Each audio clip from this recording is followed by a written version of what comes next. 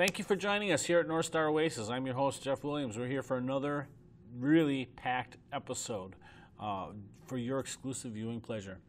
Uh, a couple of weeks ago, I went to the Experimental Aircraft Association Air Show in Oshkosh. It's the biggest air show around. I think it's the, probably the biggest in the world, or like the second biggest in the world. Um, you know, I'm very fortunate, very, very fortunate that I have a great girlfriend. Seriously. Uh, we both were born on July 28th, and she knows how much I'm into aviation and space. And for my birthday, she wanted to make this happen. And so she sent me to Oshkosh. Now, I can't just let a good thing keep it all to myself in this case, Oshkosh, that is. Um, so what we've done is I brought out the video camera, and you've got to see this. We got a lot of great stuff from Oshkosh 2017 right here for you. So a friend of mine, Frank Gray, came over at 6 o'clock in the morning, picked me up, and drove me over to Oshkosh. Hey, he's been there like eight or nine times. Uh, yeah, eight or nine times. This is my first. And Frank was gracious. He knew the, the layout of the land. He knew how to get there. Everything. It, it was just great tra traveling companion. And we got there around noon, and here is what we saw.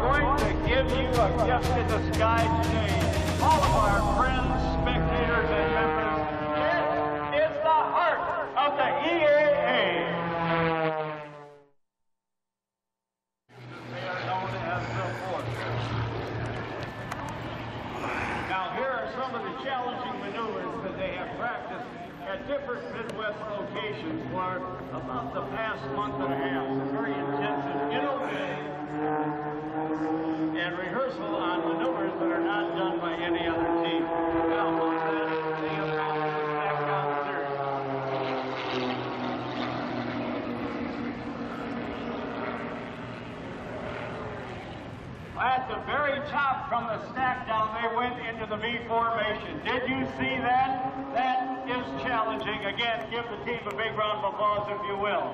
Off on your right. To tell you about He has competed against the greatest aerobatic, aerobatic pilots in the world in two different international aerobatic contests. His name is Matt Chapman. The first one in Oklahoma City, again in Slovakia aerobatic contest, and he has won the coveted Charlie Hillard Award for being the highest ranking U.S. pilot at a world contest when he was third place male pilot in the world contest. Now, they have gone into what they call a skill record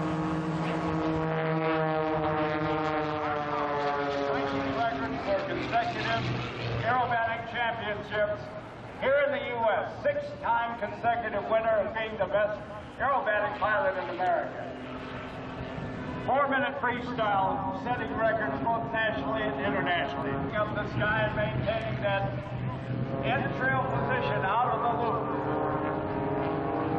What they're going to do is the bit off of the line-up area for the runway. So imagine a fountain being just cranked up. The water goes up to its very peak, and it comes back down. First with Matt Chapman in the hammerhead turn, with Bill Stein following Matt, with Rob following Bill. Ladies and gentlemen, the Oshkosh Mountain. Give the team a big round of applause for that bit of imagination. All right, the Clover down. Executing the frisbee. All right, the melee continues in the center. It's Bill Stein. To your right, watch Rob Holland. Diving to your left. Rob Holland upside down and almost down. Chapman's got Holland. Chapman pulls a hard turn to the left. That one hurts. He to the vertical at center stage. Embry-Riddle Aeronautical University. There goes Holland. He goes up, gaining some altitude. He hopes to park that airplane. That Chapman down.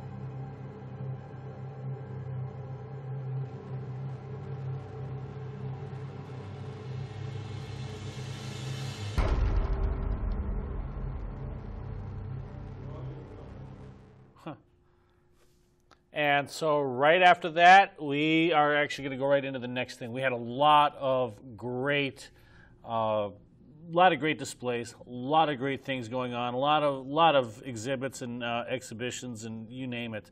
But I'll tell you one other thing that they have that's really important: aircraft for historic preservation. There is one in particular that we have to show you about. That's all, brother.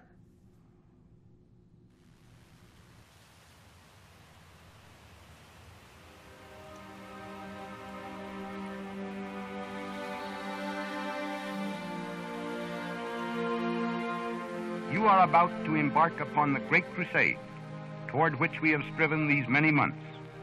The eyes of the world are upon you. The hopes and prayers of liberty loving people everywhere march with you.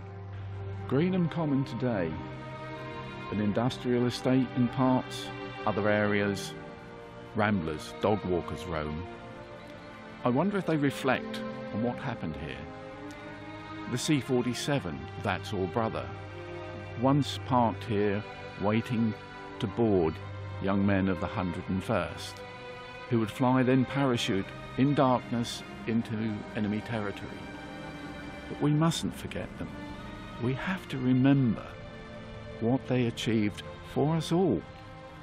It was to them that we owe the freedom that we in this country and America has enjoyed. You will bring about the destruction of the German war machine, the elimination of Nazi tyranny over the oppressed peoples of Europe, and security for ourselves in a free world. You know, what, what if it hadn't survived D Day and all the other missions it flew after the war? This airplane doesn't just fly the, the missions on June 5th and 6th. It will also go on to participate in every major Allied airborne operation that's conducted in Europe. It flies in Market Garden as well. Any one of these missions is a is a chance that that airplane is lost forever. Late on June the 5th, 1944, That's All Brother, an American C 47 transport aircraft, took off from England. It flew into history as the first to drop Allied troops into occupied France. Believed lost, perhaps disposed of in theatre, a fate that befell so many combat damaged aircraft, That's All Brother's final disposition has become something of a mystery. I distinctly remember a few weeks after joining the CAF, I read a blog article from Wittman Regional Airport, and it caught my attention because it was where I used to live and work in, in Oshkosh. And it was a not a very well read blog, but it seemed to be saying that the aeroplane that led the D Day invasion was sitting in the boneyard at Basler. He kind of brought it to me with the can this really be true? It seemed quite unbelievable. In reading the materials that were assembled, there was a number of sort of factual inaccuracies that sort of made it believable that the whole story was in fact false. It seemed totally beyond comprehension that in a country as patriotic as the United States, that the airplane that led the D-Day invasion, this incredibly important artifact, would be in a scrapyard. There's just no way that that can be true.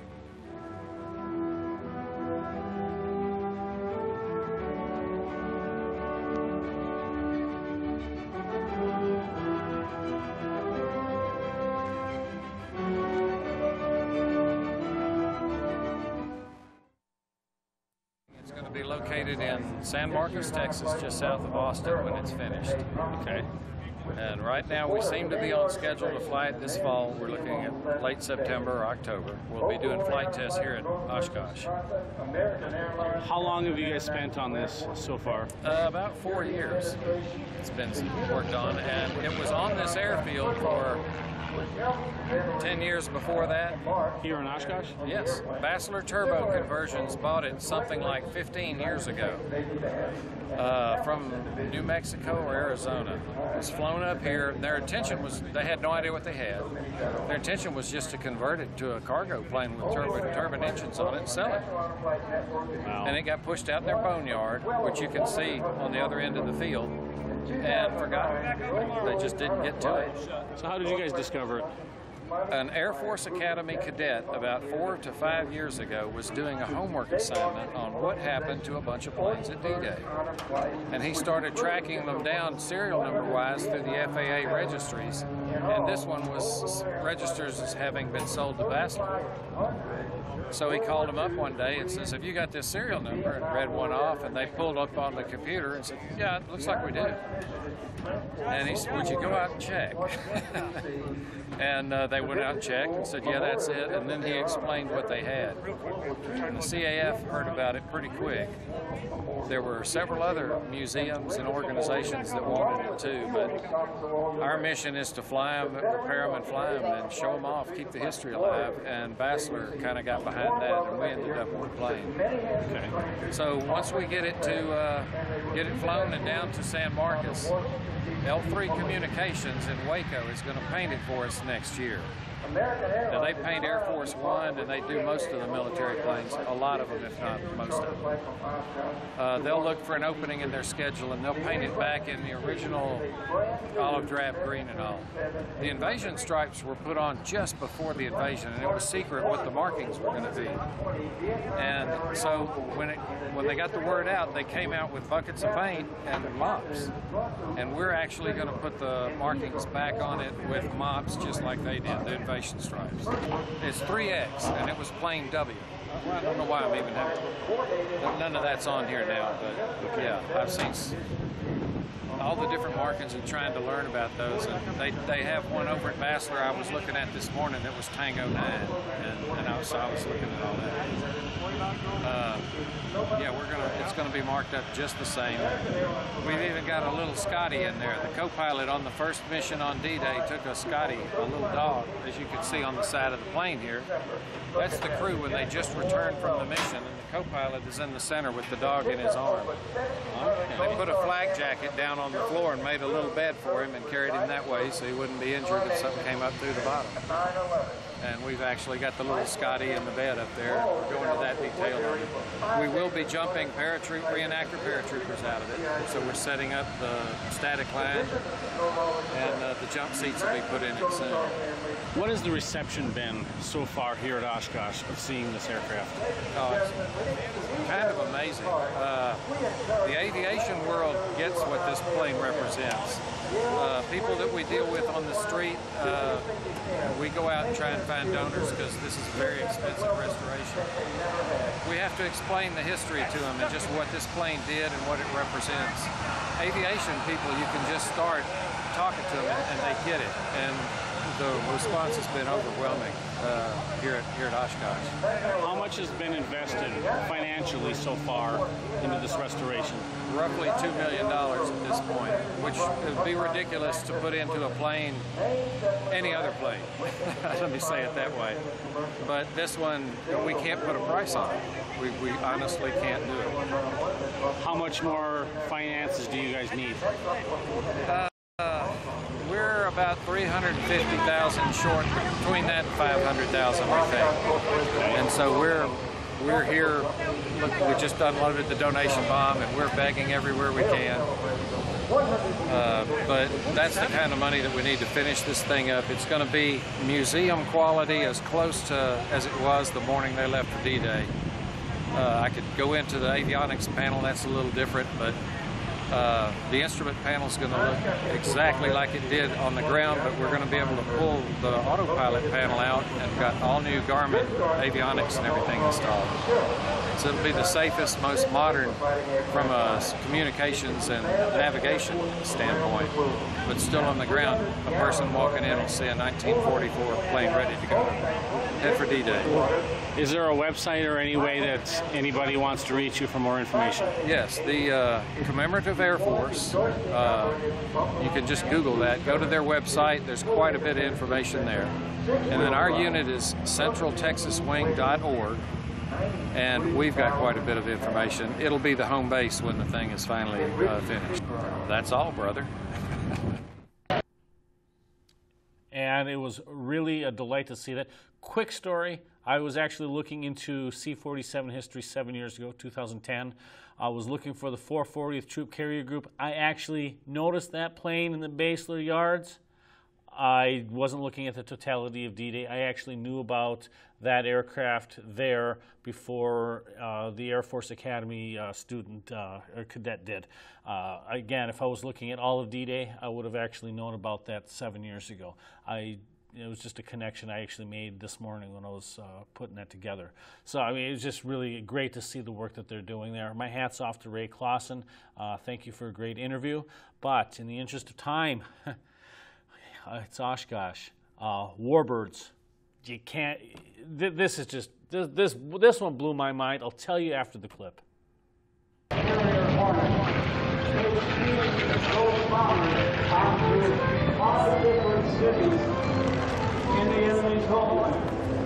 It was a surprise attack.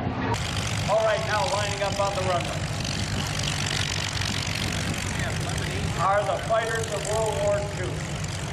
Some were designed but never bloodied in combat. The first one in the line there, that blue one, you remember the TV series Black Sheep Squadron and Baa Baa Black Sheep.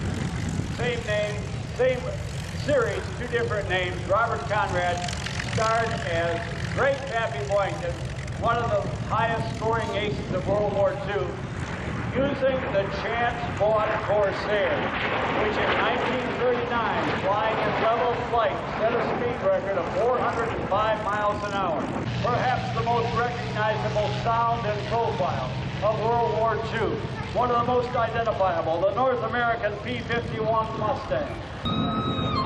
The rain, while it was minimal in its effectiveness of dropping 96 bombs on several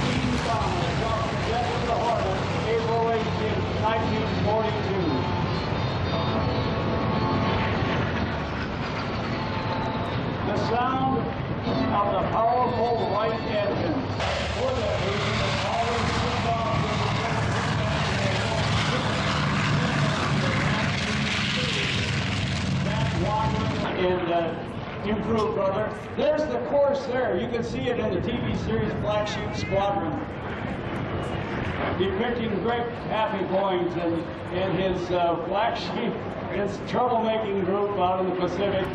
Speed and time to climb. And there is a very famous F-8 Bearcat at the Housing Museum. And I used to stand on Dad's shoulders. Can you still do that? No, oh my God. The United States Air Force. All right, now, we'll continue to play those themes. Look up from our right to our left. You may have to turn around. A formation of B-25s at Oshkosh. I'm sorry, B-29, I'm, I am excited. I am excited. I'm sorry. I just don't see this each and every day with Oshkosh. And if I get my numbers and letters mixed up, please forgive me. I am fired up about this. And there is no script. I want you to know that. On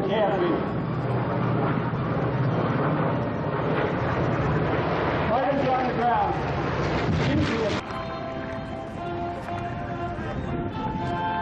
And here's the Coast Guard song.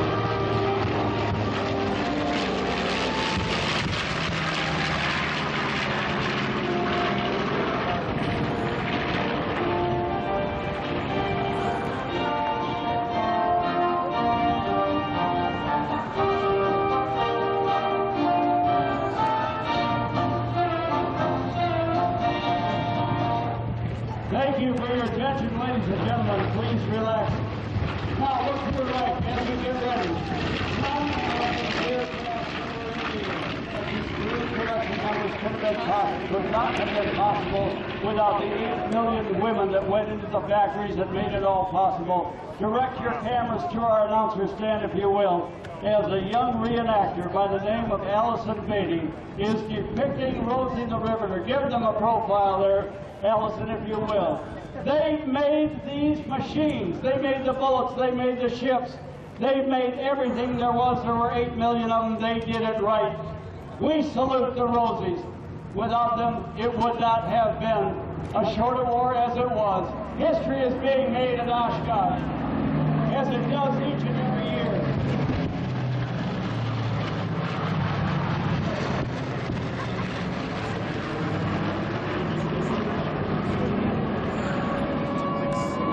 Hear that?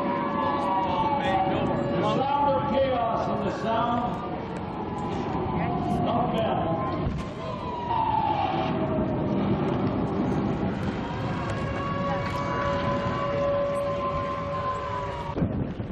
You can write, but not too often.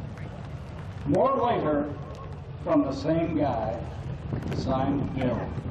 Christmas Day, Fresno War Camp, 1943.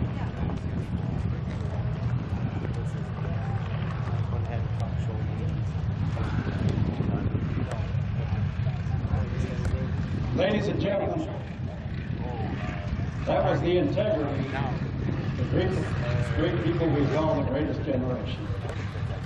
We are here today to enjoy the freedoms, tradition that we have, the military that we have, because of them and others. Today's theme is the EAA salutes the veterans. If you're able, would you join us in standing as we will observe a moment of silence?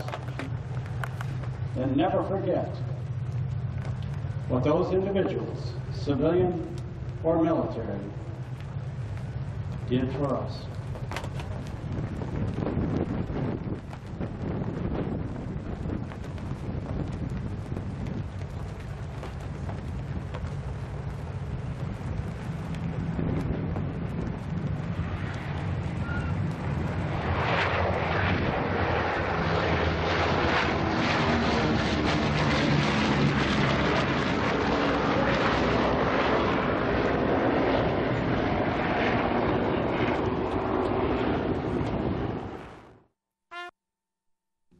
Thirty-eight years ago, on that very day, July 28th, 1979, I attended my very first air show. I got a chance to walk inside Fifi when I was eight years old. Fifi was the first out of the two B-29s.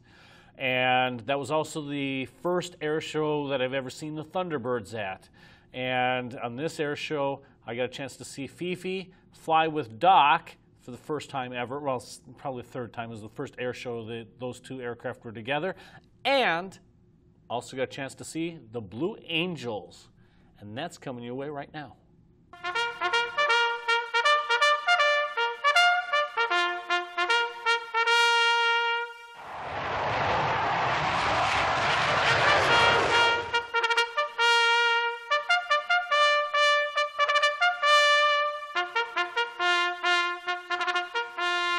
Where did the name come from? Yeah. Well, I'd, I'd say probably we, we wanted our flight suits to be the same color as the astronauts. but actually, uh, the, the story um, back in the very first season in 1946, uh, the team had just got on the road. A guy named Lieutenant Commander Butch Voris uh, was the flight leader, and they didn't have a name. They were trying to figure out a name. They were just the Navy Flight Demonstration Team at the time. And uh, they, they were doing an air show in New York City, and they ended up uh, out having dinner at a, a restaurant club that was called the Blue Angel. And somebody said, hey, that'd be a great name for the team. And it stuck that very weekend, and that's where it started. So that was 71 years ago. Blue Angels.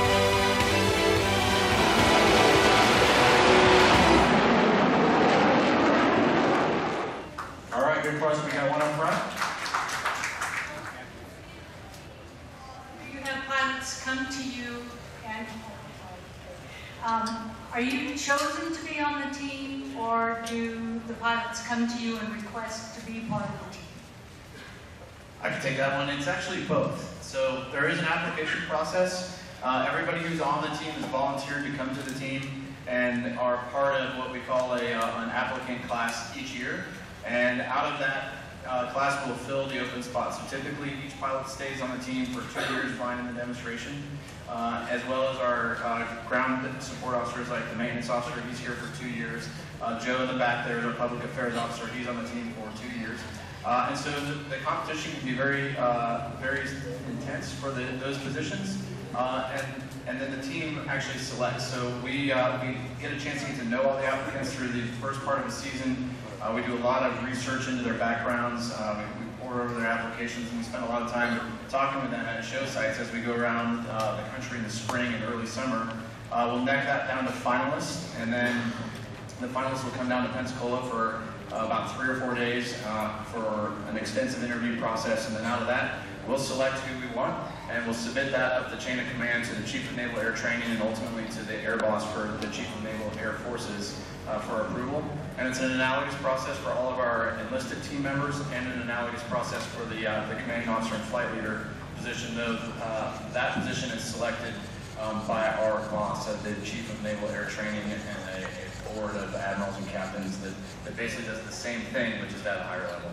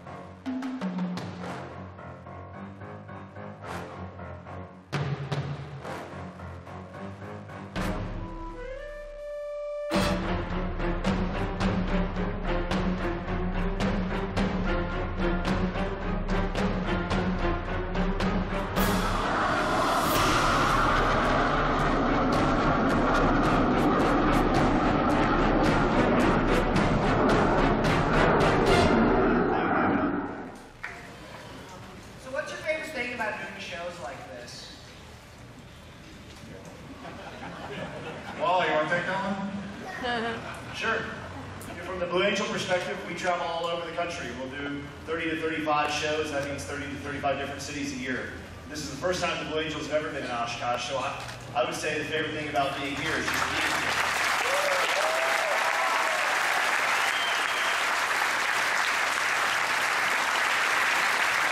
This show seems to be uh, just a, a, little bit non-standard from the normal shows we go to. the crowd on Wednesday is bigger than most shows combined crowd for the entire weekend, right? And uh, just the enormous magnitude of what is Oshkosh is really exciting for, for us to be a part of. So thanks for having us, first of all.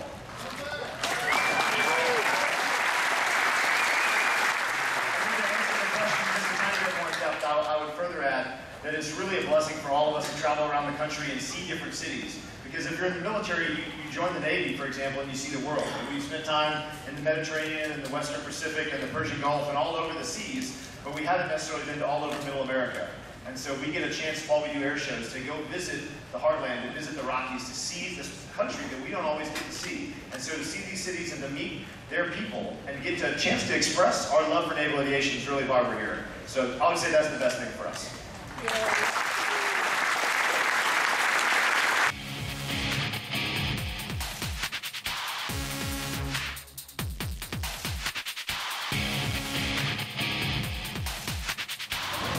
Behind the spectator area.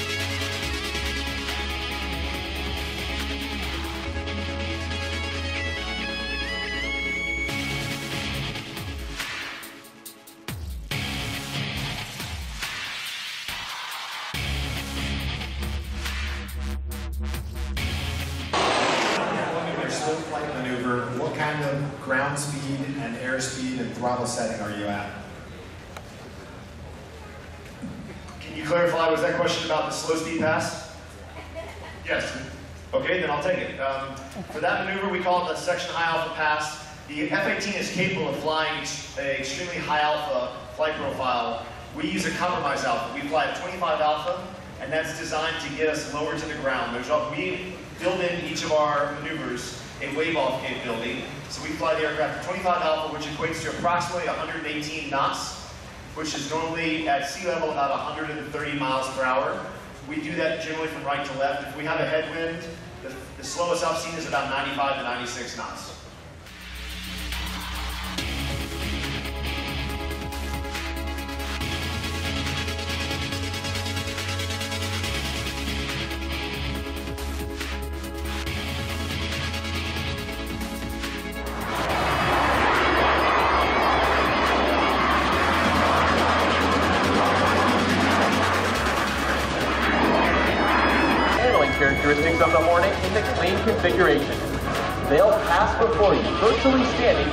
5 and 6 on their tails. At less than 120 miles per hour, the fly-by-wire flight controls provide slow-speed handling that sets the Hornet apart in the air-to-air combat arena.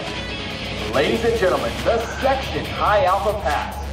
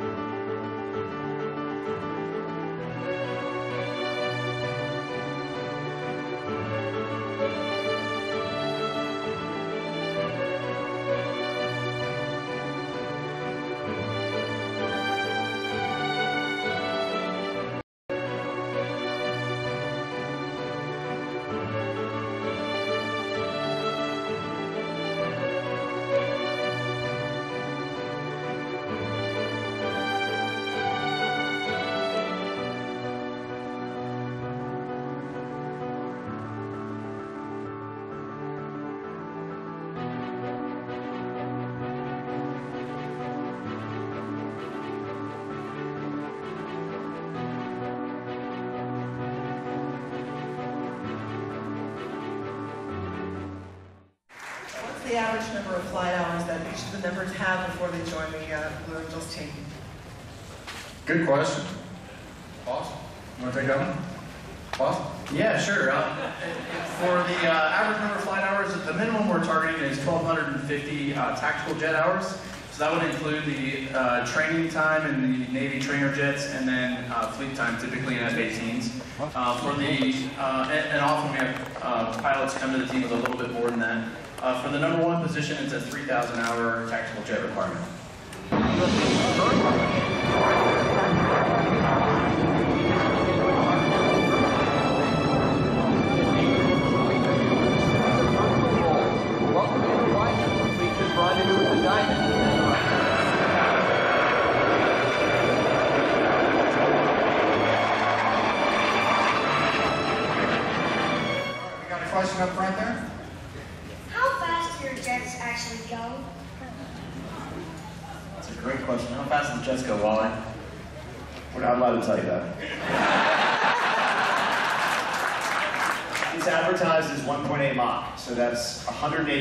Speed of sound, which is about 730 miles an hour.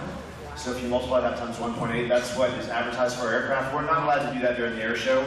The Federal Aviation Administration requires us to be subsonic, unfortunately. You call your congressman, no, we can generally subsonic. And for us at this show, the fastest airspeeds you'll see are just over 700 miles an hour. Three wingmen smoothly shift back into a Blue Angel landing.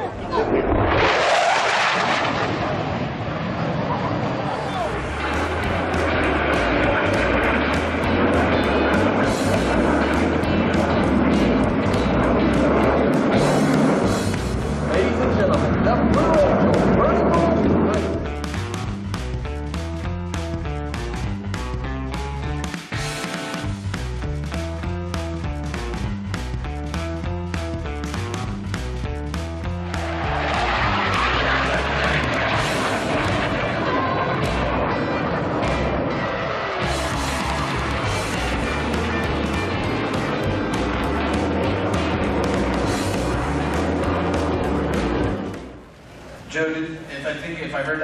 was uh, how do we uh, deal with bird strikes or bird encounters? Absolutely, yeah, that was the question. Sure, uh, I, I can take that, and probably Mo will want to chime in on this too.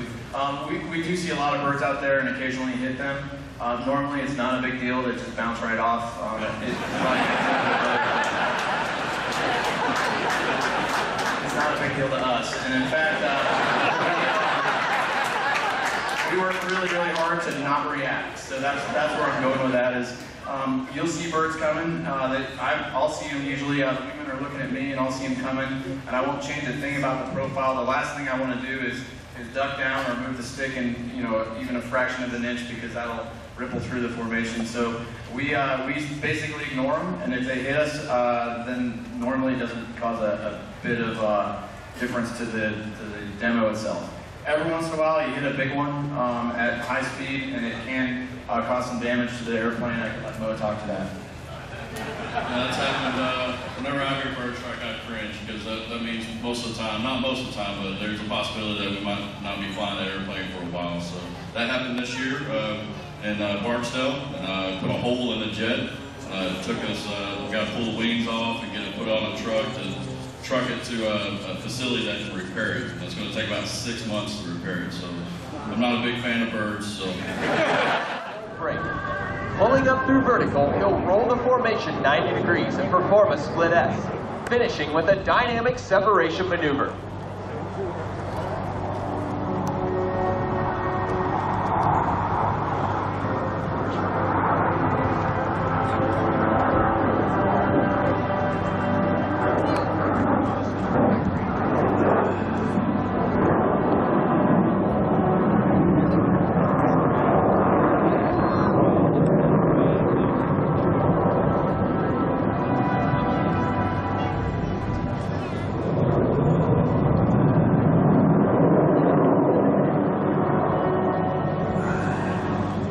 The formation pulls to level, each pilot will perform an individual break turn and exit the flight line in a separate direction.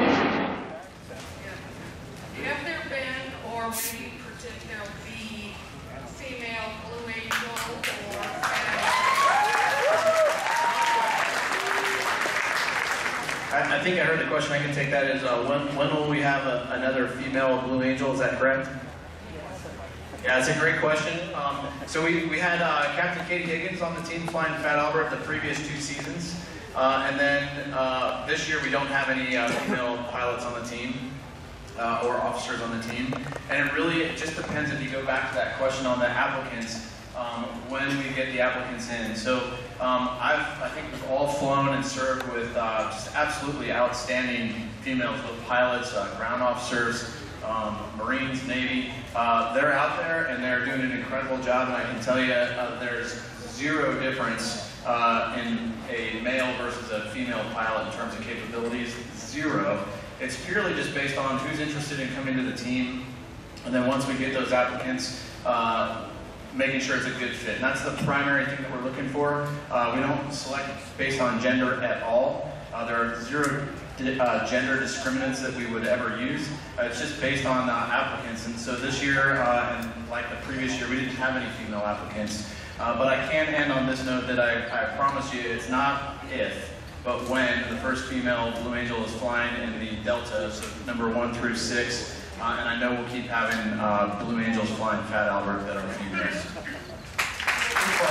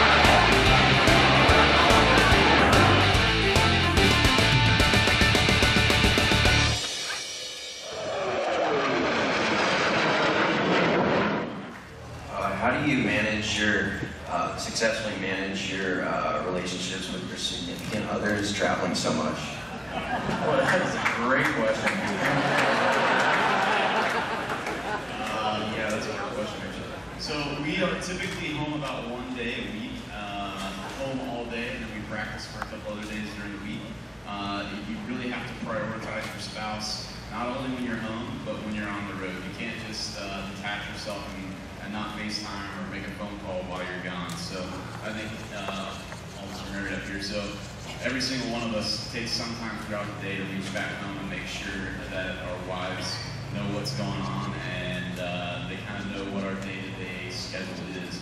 Um, the majority of the time when we're out, we're out at night with, with each other, but we're always checking in no matter where we're at or what we're doing, and I think that helps to ease some of the uh, some of the fears from any spouse that would be back home 300 days a year with their husbands going out at night uh, doing stuff. So, uh, I know about. Yeah, you know, it's, it's about communication, and sometimes it takes a little bit to learn that. Uh, and the, but the learning curve is steep. And in fact, we do have a couple of spouses and family members here back there.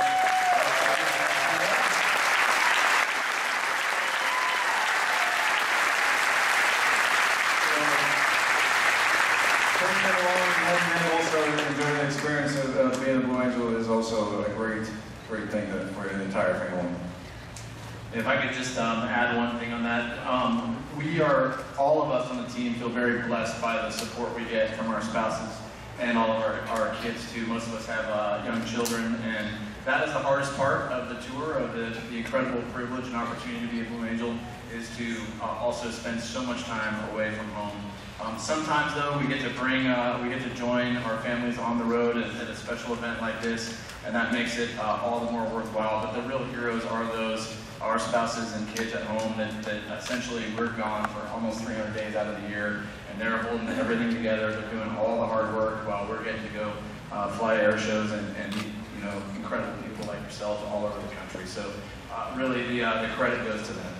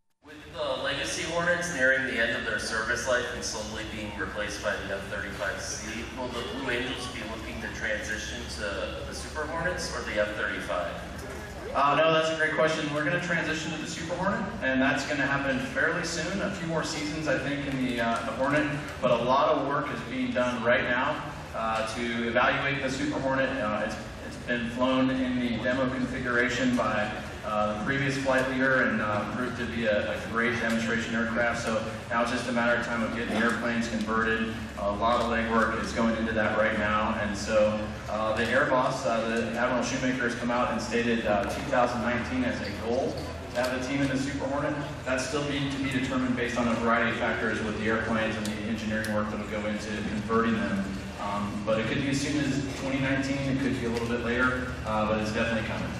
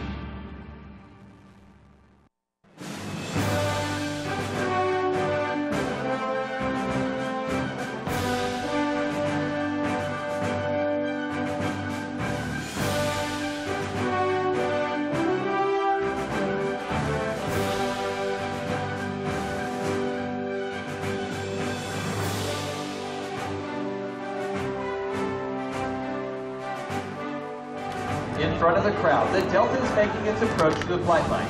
Approaching center point, the entire formation will separate in dramatic fashion. Ladies and gentlemen, the Blue Angel Delta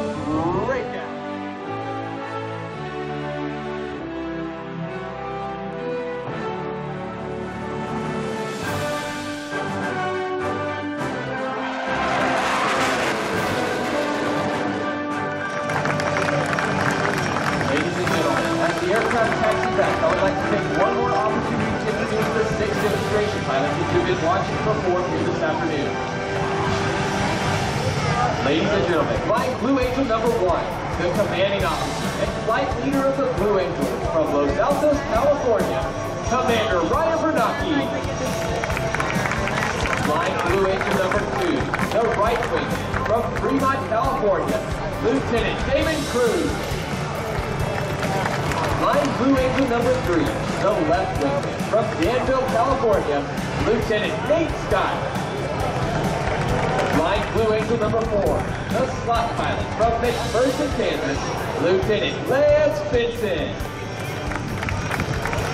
Flying Blue Angel number five, the lead solo from Atlanta, Georgia, Commander Frank Weisser. Flying Blue Angel number six, the opposing solo from Kennesaw, Georgia, Lieutenant Tyler Davies.